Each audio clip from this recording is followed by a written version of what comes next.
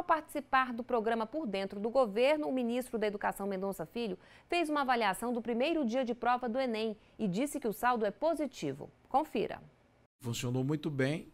A gente teve, como eu já destaquei há pouco, poucas ocorrências, poucos fatos que a gente pode destacar como, é, eu digo, fora do, do roteiro de normalidade do, da aplicação do Enem.